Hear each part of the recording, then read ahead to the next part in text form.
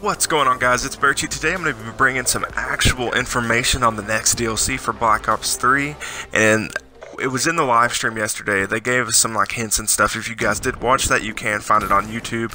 I'm not going to leave it in the link in the description, but you guys can search it and you guys can see it for yourselves. And you can also go on over to Reddit or Charlie Intel or various YouTubers and find more information if I've not given you enough. Anyways, the name of the DLC is going to be called Eclipse.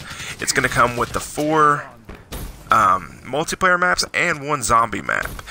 Um, let's get into the multiplayer maps. Let's just talk about that. One's going to actually be a re remake. If you guys played World at War, call that, which is Call of Duty 5, it's the first Treyarch game. Um, first Treyarch um, Call of Duty game. It's an older Call of Duty. If you guys haven't noticed, them, some of you young guys probably aren't going to know, but it's one of the, it's called Verge. It's actually a remake of Banzai from, like I said, World at War. I'm really pumped for it. I'm not always too happy about remakes, but I, I, I really wish I would have liked to seen like I think um, the Green Goblin was talking about Raid. I really am a huge Raid fan. I would have liked to seen Raid or um, Grind or even Firing Range. Firing Range would have been awesome. I would have been so pumped for that. But we got Banzai. It's something older. It looks kind of cool and stuff. I'm really, I'm honestly pumped for it. And see how they took like such an old Call of Duty map and used the new mechanic system on it. And then we have the next map is going to be Spire. It's going to, or Spire, I think it's Spire. Spears, I'm going to go with Spire. It's a futuristic, it's set in a futuristic space airport.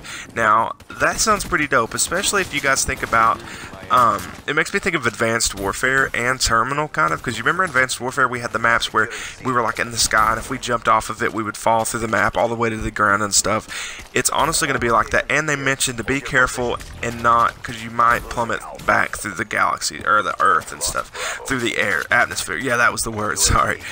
I said like three, yeah, it's atmosphere, don't, just ignore everything I said. Um, but it reminds me of Advanced Warfare where you like if you jumped off the map you would die and stuff. Um, and it also makes me think, do you think they're going to be able to make it almost like Terminal was? Kind of like a little outside base and inside. Hopefully it's like that. I would like to have some boots on the ground part of the map, and then I would honestly like to have something maybe up in the air. Maybe you could like, um, it has three levels, I believe. I think it'd be cool if you could like jump to three different, I don't know. I'm going to put all my faith into Black Ops 3 and Treyarch and Activision on this one. Hopefully they bring something good to us because they've never really been that bad lately. It's always been good content and stuff, which is always something to look forward to with Treyarch because they're a trusted um, developer and game creators, which is pretty awesome. The next one would actually be Rift.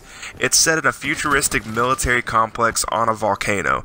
Now this one's probably going to be one of my favorite ones. I think this is the one, I think this one's actually kind of, yeah, this one's pretty dark but I'm actually pumped for it because I like the darker maps. I'm not too happy with like the I like the vibrant and new colored maps, but you know, come on guys, everyone likes the old because all the older maps in Call of Duty were always dark and stuff. And the on a volcano, maybe there's some kind of like thing where you're gonna have to jump up because the volcano explodes. You know, anything, or you can fall on the volcano.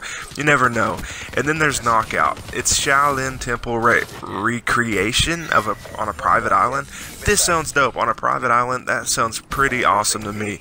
You're surrounded. It reminds me of like kind of how like Hijacked used to be, but maybe a larger island. Maybe it's not too large, but um, it reminds me kind of like the game I'm playing right here, Splash, but maybe like more Dead Islandy kind of. That would be pretty dope in my opinion. And then there's actually going to be another zombie map. It's I think it's going to be considered um, Zenoshima or something. I can't think of it. It's supposed to be on an island. I believe it's going to be on an island. I'm not sure. It honestly reminds me of Combine a little bit. Um, it's like the, there was just a leaked promotional image, honestly, but it reminds me of Combine mixed with like pirates and stuff. Um, if you guys want to check it out, jump on over to Charlie Intel or look up different YouTubers, guys. Um, that's all I had for you guys today. Remember to subscribe for more content. Follow me on Twitter, it's in the description. It's been good, guys. Until next time, see you then. I'm out.